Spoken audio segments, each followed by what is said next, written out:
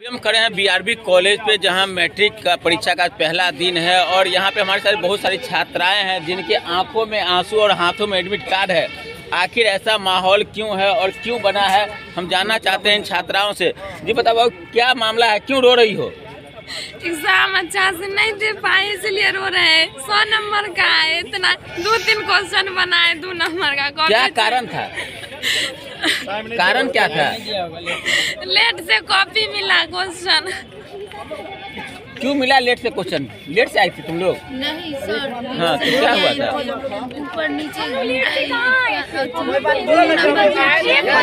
बिल्कुल ये छात्राएँ हैं। और छात्राएँ साफ़ तौर पे आक्रोशित है हम जानना चाहते हैं जी बताओ क्या कारण था क्यों लेट हुआ तुम लोग एक पंद्रह में हम लोग अंदर आए। उसके बाद हम लोग इतना इतना भीड़ था हम लोग घूमते घूमते पाँच बार ऊपर गए पाँच बार नीचे आए। सर सबसे पूछते थे कि क्या सर कहा कौन सा क्लास है? सर एडमिट कार्ड चेक करते थे नंबर मिलाते थे। फिर फिर भी नहीं मिल पाता था हम लोग का क्लास ऐसे में पूरा पाँच बार इधर तो उधर यहाँ दौड़ते दौड़ते। शिक्षक थे वो आपका सहयोग नहीं किए थे? नहीं। नहीं कुछ नहीं।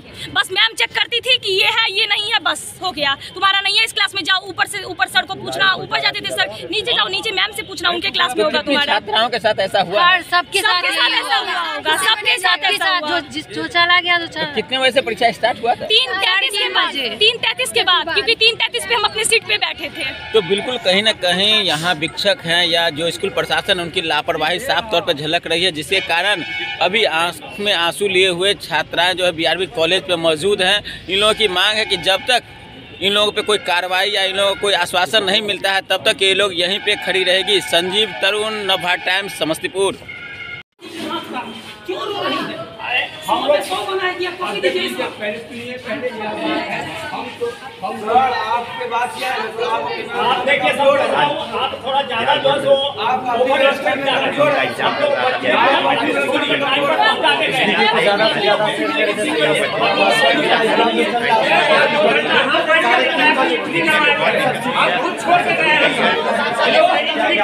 करवा देंगे एक बंदा एंट्री